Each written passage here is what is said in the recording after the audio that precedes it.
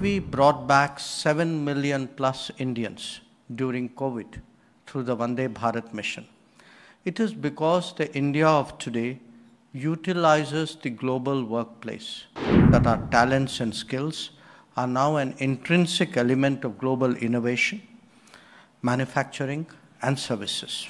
We strive to ensure better access to our talent, stronger protection for our workers, greater opportunities for our students, and fairer markets for our businesses.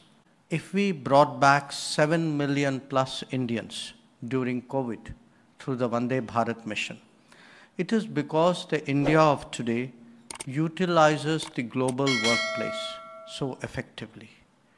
It is due to the fact that our talents and skills are now an intrinsic element of global innovation, manufacturing, and services.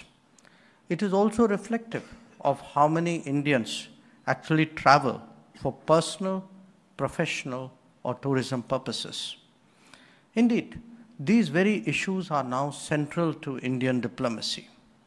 We strive to ensure better access to our talent, stronger protection for our workers, greater opportunities for our students, and fairer markets for our businesses.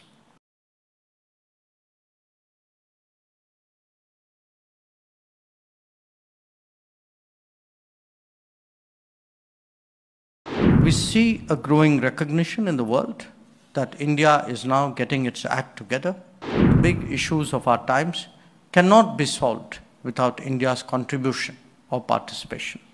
Today, India matters more in the world, and we must make the most of it. We see a growing recognition in the world that India is now getting its act together. Equally, there is a realization that the big issues of our times cannot be solved without India's contribution or participation. This is a moment when India resets the terms of engagement with the world. It is also a juncture where we should be prepared to take up greater responsibilities. So, for those who are starting off in life, like so many of you, I can only say that there is every reason to be confident. India today has a leadership and a vision, as well as the perseverance and the commitment to enhance its global standing. To those more experienced who've been part of our national journey for the last 75 years, they will surely appreciate the transformation underway and the opportunities that it has generated, opportunities perhaps that my generation did not have. But to all of them, I would only say that I'm sure that they share the conviction that today India matters more in the world and we must make the most of it.